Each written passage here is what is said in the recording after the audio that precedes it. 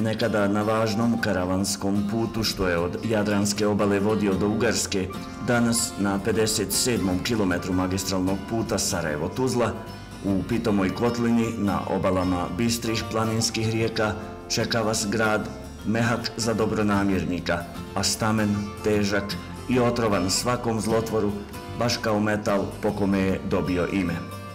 Dobrodošli u Olovo. Ovo je grad kome su bogata nalazišta olovne rude još u srednjem vijeku odredila ime.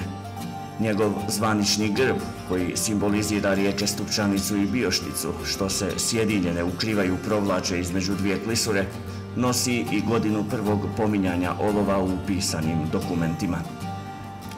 Od te 1382. do ove 2018. godine prošlo je 636 godina.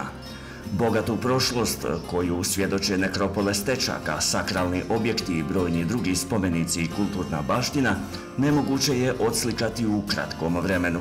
Posebno jer nam je cilj da vas u povodu još jednog rođendana olova uz evo samo svijest o bogatoj prošlosti kroz aktuelnu sadašnjost povedemo u grad budućnosti kako to stoji na njegovom ulazu.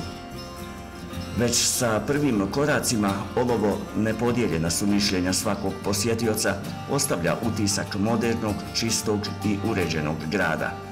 Izgled svih stambenih objekata, čiste i uređene ulice, korita i obale rijeka, novi, modern i lijep izgled svih javnih objekata samo potvrđuju ovu konstataciju. Malo je sredina u Bosni i Hercegovini koje su u samo nekoliko godina toliko unaprijedile svoj vizuelni izgled kao olovo. Ovi pozitivni iskoraci i novi imidž olova utemeljeni su na brojnim investicijama koje su po precizno utvrđenim prioritetima i dinamici stagnaciju pretvorili u napredak, besperspektivnost u nadu, a stid u ponos. Ilustracije radi, dozvolite nam da slikom, a ona vrijedi više od hiljadu riječi, kroz nekoliko primjera potkrijepimo ove konstatacije. Ovo je ne tako davno slika devastiranog područja bivšeg Šika uz magistralni put na samom ulazu u Olovo iz pravca Tuzle. Ovo je slika tog područja danas, nakon više milijonskog ulaganja u reprezentativni sportski centar te jedan poslovni objekat. Zapušteni i neiskorišteni prostor gotovo u samom centru grada danas krasi moderna gradska tržnica. Od ne tako davno mjesta za izvoz trupaca i odlagalište smeća, zeleni vir postao je oaza ljepote i biser olovske turističke ponude. Ovo su školski objekti nekada i sada. Svjetlo je pobjedilo tamo.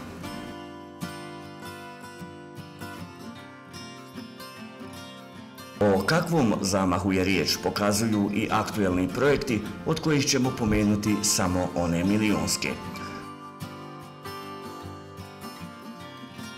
Ove godine u Olovu je u okviru regionalnog stambenog programa završen projekat izgradnje 16 stanova za socijalno stanovanje vrijedan blizu milijun konvertibilnih maraka. Izgradnja, odnosno dogradnja Doma kulture, veliki je projekat koji se fazno realizuje već nekoliko godina. Vrijedan milion i stotinu hiljada konvertibilnih maraka i ovaj se projekat polako, ali sigurno privodi kraju. U toku su radovi na unutrašnjem uređenju objekta, zašto je u ovoj fazi obezbijeđeno 200.000 konvertibilnih maraka. Uz gradsku biblioteku, Radio Olovo, mjesni ured, svoje mjesto u ovom objektu, koji već plijeni svojim izgledom i krasi centar grada, pronaći će i brojne druge organizacije, institucije i udruženja. Jedan od za Olovo najznačajnijih projekata je novo proširenje kapaciteta javne zdravstvene ustanove Banjsko-rekreativni centar Aquaterm Olovo.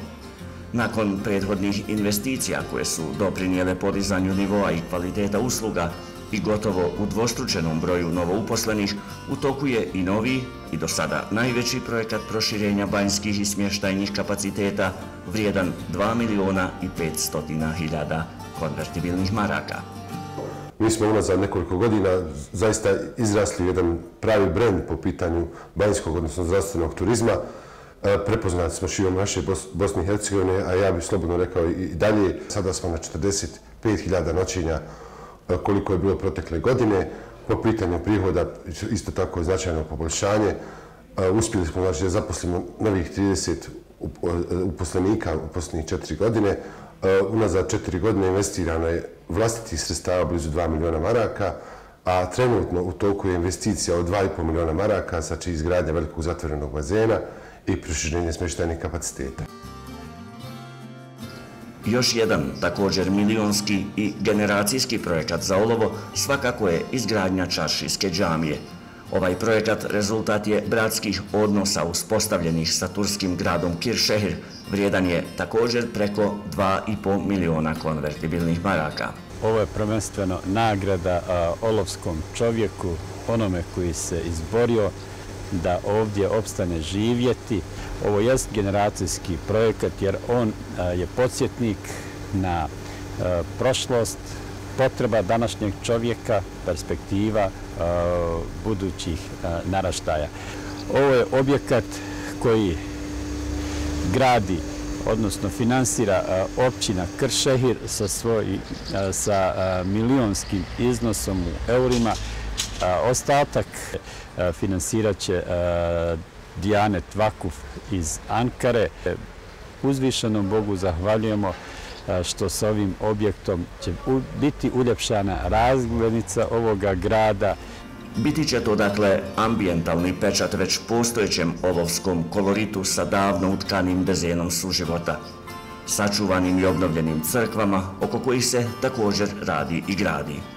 Izgradnja moderne zgrade odjeljenja općinskog suda Visoko u Olovu vrijednosti 650.000 konvertibilnih maraka, koja se uklapa u planove o završnom izgledu centralnog gradskog trga, te uz aktuelnu izgradnju Centra civilne zaštite, aktuelni su projekti investicije čija vrijednost samo između dva rođendana i samo u gradu Olovo prelaze iznos od 7 miliona konvertibilnih maraka.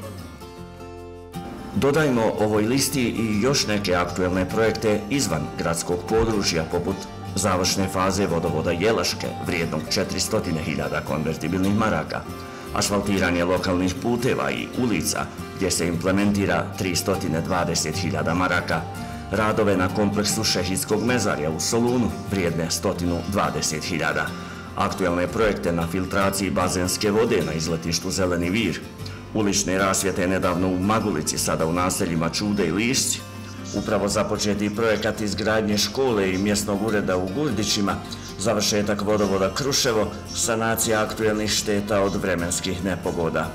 Sa ovim se vrijednost aktuelnih projekata u Olovu posve približava dvocifrenom milijonskom iznosu. U ovim krupnim investicijskim iskoracima u promjeni imidža ovog grada i općine ključnu ulogu ima gotovo je nepodijeljeno mišljenje građana, čovjek koji već šestu godinu vodi ovu općinu, načelnik Džemal Memagić, koji načelnički posao ne radi za platu. Ovaj ostvareni biznismen i vlasnik kompanije Almaras do sada je svih svojih blizu 70 plata ili preko 200.000 konvertibilnih maraka usmjerio na stipendiranje studenta i učenika iz Olova.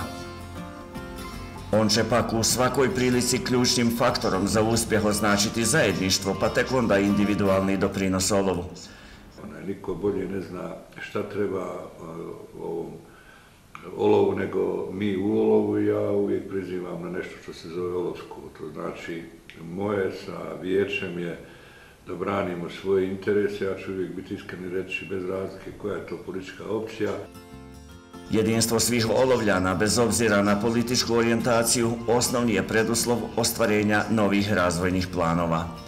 A oni već u bliskoj budućnosti na temeljima potvrđenih rezultata o ogromnim kapacitetima novih banjskih bušotina predviđaju i nove milionske investicije u banjski i zdravstveni turizam. Sve ovo prate i evidentni privredni iskoraci zapošljavanja u oblasti rudarstva, na primjer, gdje je preduzeće Geomet do sada uposlilo blizu 150 radnika. Stalna tendencija u novom zapošljavanju i dalje je evidentna i prisutna u Almarasu. Preduzeće Kovan također prati ove pozitivne olovske trendove. Poljoprivreda je sektor u kome se poslednjih godina također bilježi evidentan napredak.